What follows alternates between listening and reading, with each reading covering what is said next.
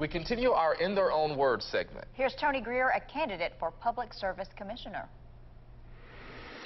I'm Tony Greer, running to be your next Public Service Commissioner in the Central District of Mississippi.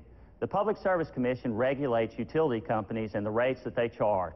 I have over 30 years of professional experience as a financial analyst, a CPA, and refinery and petrochemical plant operational auditor.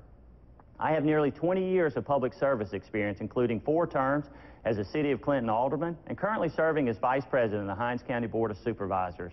I have helped save taxpayers millions of dollars by implementing financial controls, streamlining operations, and cutting costs.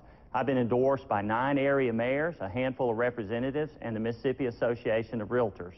In regard to the Kemper County coal plant, ratepayers are looking at billions of dollars in construction cost overruns.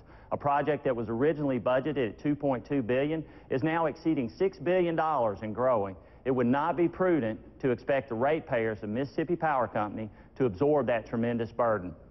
I will protect the ratepayers and stand tall in their corner as their voice on the Public Service Commission.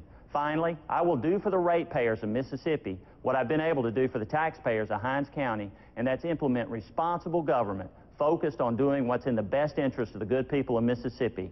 On August 4th, vote for me, Tony Greer, in the Republican primary for Public Service Commissioner. Thank you. Tony Greer is facing Brent Bailey for Public Service Commissioner in the Central District in the August 4th primaries.